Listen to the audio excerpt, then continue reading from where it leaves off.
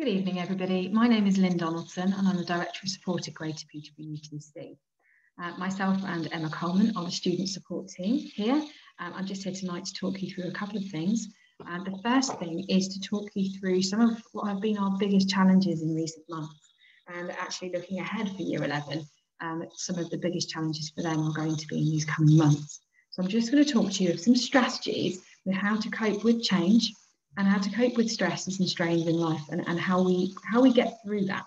Some of us as adults obviously will benefit from some of these tips as well. Um, but I really I want to share this with you now so that you can support your young people to uh, having a really successful year. So I'm just going to start with change. Um, we have faced so many changes as a nation, as a world in the last few months that it's really important that we kind of proactively look at how we cope with that change.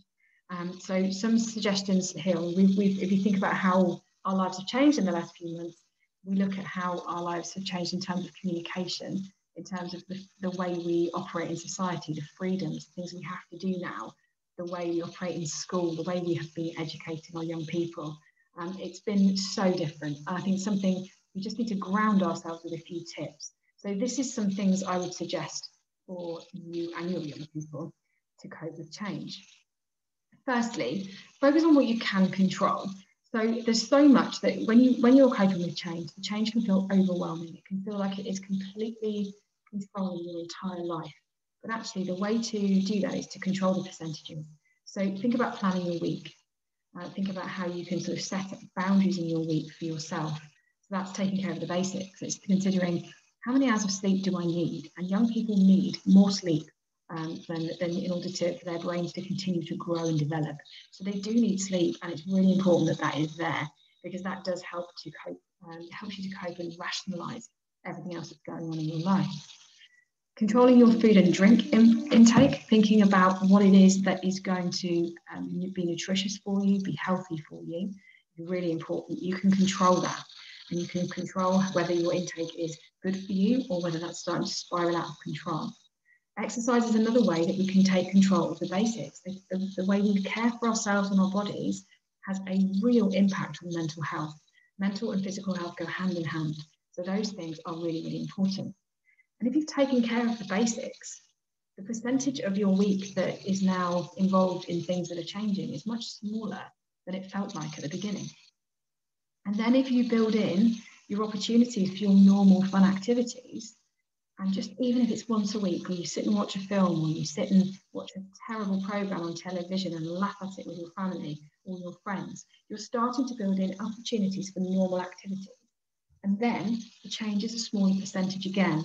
And it means that you can start to really focus on the fact that the majority of your life isn't changing. There's just a few things that are. So that's my first tip is control what you can control. Secondly, what you're left with after you've done that control is probably like to be quite it's quite probably like to be quite negative and it might be quite traumatic. There's a lot going on there. So it's about reframing negative thoughts where you can. And obviously where change is very, very difficult, very dramatic, this might not always be possible. But sometimes you can always you can you can usually find a way of making a negative thought a positive thought. Because it's how you think about a situation that is um, that, that is that influences how you feel. So if you believe that a change in routine is hard, then if you continue to believe that this change in routine is hard, then it's almost like a self-fulfilling self-fulfilling prophecy. You come back to that idea, you believe it's hard because you've told yourself it's hard. But if you can start to say, yes, being back at school is hard, that change in routine is difficult, but actually that means I get to see my friends in person more frequently. That's a good thing. You find a way of making it positive reframe that thought. The lockdown has been difficult on all of us. Um, not seeing extended family as much is really hard. Um, but a way to reframe that might be to consider the positives it's, it's taught you. It might be that you've, you know, talked around how to use Zoom, and now actually we talk to them more often. Certainly the case, you know, you, you, because of the technology, we're talking to people more often, even if it's at a distance. So that's a couple of things to help us cope with change. And, and stress is something I always talk about with Year 11 presentation because stress and exams is, is so common um, and we do put so much pressure on ourselves to do well in those sorts of um, situations. And this is going to be an uncertain year for Year 11. So We need to know these techniques so that we can employ them as soon as we can so that the stress doesn't become overwhelming. So some tips for coping with stress. Exercise relieves the buildup of fight or flight hormones. Now, this is something we covered in PSHE with this year group last year. So fight or flight hormones absolutely flood the body. And one way to reduce that flood of hormones is to exercise it away, to just move, move the body so that it is dissipating. Fresh air and sunlight also reduce that tension and exercise outdoors is really good for you and it has a huge impact on your mental health. As I said earlier, mental health and physical health go hand in hand.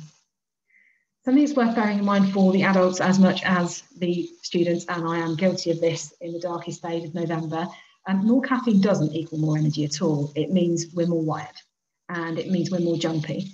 So consider intake, uh, food and drink intake and how it will have an impact on you. We know that biscuits and caffeine are actually not going to make us any feel better, feel any better. They're going to make us feel more stressed um, because you know, the, the sugar highs, the sugar lows, and the caffeine is just not going to be good for us. And we know that.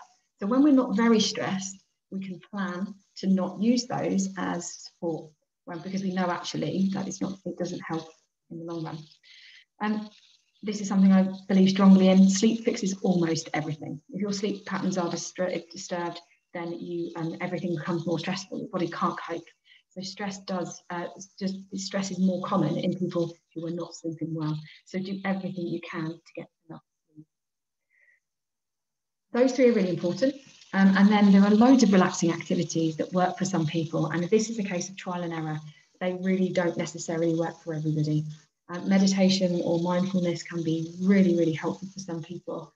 And for other people, it just doesn't work. It stresses them out more because they can't do it. But it's worth trying. Um, yoga, Pilates, anything relaxing forms of exercise can be really good. They focus on your breathing and they focus on you and just focusing on the energy in your body and not focusing on what's going on around you breathing exercises, listening to music, anything that you can Google relaxing activities and try some and see if they work for you. But the best thing to do is to try them when you're only a little bit stressed. Don't wait until you are extremely stressed to try these because you need to build up the habit uh, and the kind of like the regular practice of some of these things so that you know you can go to it as a strategy for coping with stress.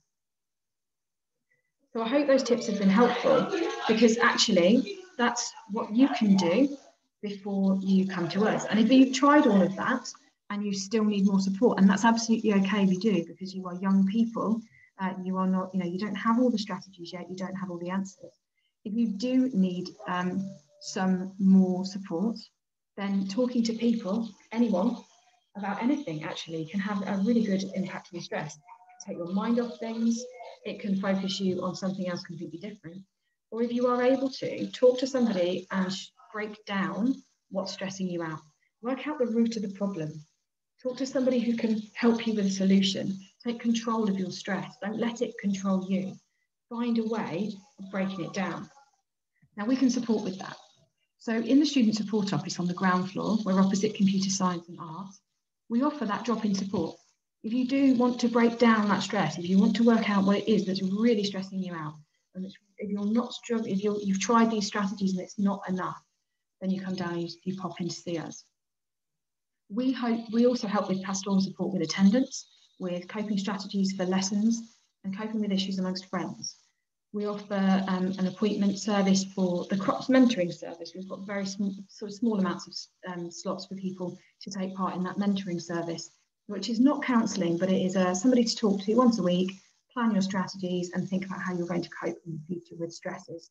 Um, exam stresses is a very common one for the mentoring service. We are also able to arrange appointments with the school nurse and the ICASH sexual health uh, nurses as well. If we feel, once we've spoken to you, that you need some external support, we have a range of options available once we've gone through all of those strategies with you. We can help you to get a referral to Kooth, which is an online mental health and wellbeing support service we have um, Centre 33 in Peterborough, which is a local counselling service for 16 to 24 year olds. Um, we can also put you in touch with local youth and mental health services. And um, so this, the, there are different tiers of support basically. Um, you do need to, you know, there's loads you can do yourself before you come and talk to us. And if you do want to talk to us, you're welcome to pop down at any time. And, then if you do need that further support, we can put you in contact with those people. If you need a reminder of how of what that support is and how and how to get in contact with us or anybody else, you will now find in, in very shortly you will find um, student welfare boards in the year group social spaces. That contains loads of information about internal and external support and a load of, a load of information for you to look at there. Throughout the year, we do assemblies and we um, drop in bits and pieces into mentoring matters as well, so you will understand the support that is available to you. And obviously, if you have any questions, you are welcome to pop and see us on the ground floor. Most of year 11 know where we are now. You are absolutely welcome to pop in and see us and, and ask us any questions. Um, so, so that's the student support uh, team. I will be online this evening as well. So if parents or students have any questions, you are absolutely welcome to ask me those questions then. It's been lovely to talk to you. I hope that's been helpful. Um, I look forward to seeing you soon.